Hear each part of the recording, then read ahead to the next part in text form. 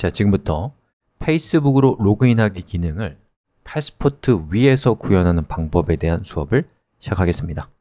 자, 이 수업은 웹6 다중 사용자 시스템 수업과 웹2 OOS2 수업에 의존하고 있는 수업입니다. 다중 사용자 시스템에 대한 어, 예제나 내용을 잘 모르신다면 꼭 저 수업을 들으셔야 되고요. OOS는 가급적이면 저 수업을 들으시면 이 수업을 훨씬 더 즐겁게 즐기실 수 있을 겁니다. 자, 여기 두 개의 주체가 있습니다. 하나는 나의 서비스, 오픈 튜토리얼에서 org라고 쳐봅시다. 그리고 이 서비스에 사용자가 이렇게 있다고 했을 때 이 사용자를 식별하기 위해서 우리는 이 사용자의 아이디와 비밀번호를 통해서 회원가입을 시키고 그 다음에 이제 그 사람이 다음에 접속할 때는 로그인을 시킨 다음에 저 id 값을 기준으로 해서 이 사람이 글을 쓰면 어, 그 id를 가진 사람이 글을 썼다 라고 인식하게 되는 것이죠. 자, 이것이 우리가 알고 있는 전통적인 로그인 방식입니다.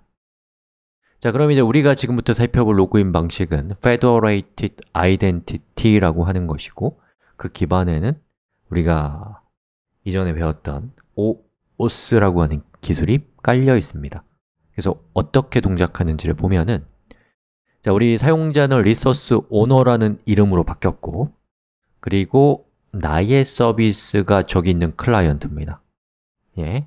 그리고 리소스 서버가 구글이나 페이스북과 같은 회사의 회사를 의미하는 것이죠 그럼 이제 resource owner에 의해서 resource server의 access token을 OAuth를 통해서 클라이언트가 전달받게 되면 어, 클라이언트는 access token을 통해서 resource owner를 대신해서 resource server에 접속할 수 있게 되죠. 자, 그때에 저 access token을 가지고 resource server에게 리소스 서버 상에서 리소스 오너의 식별자, 즉 아이디가 뭐냐고 물어보는 거죠. 그러면 저 access token을 보고서 resource server는 resource owner의 어, 아이디가 무엇이다 라고 API를 통해서 응답해 줄 겁니다. 이 사람의 아이디는 뭐뭐뭐입니다.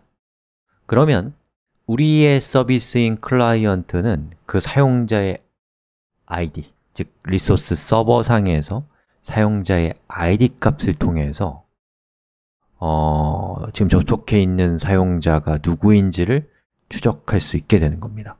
전통적인 ID 패스워드 모델에서 ID 역할을 Federated Identity 모델에서는 리소스 서버 상에서 리소스 오너의 ID 값을 이용하게 되는 것이죠 자, 그런 식으로 우리가 구현을 하게 되면 뭐가 좋은가요?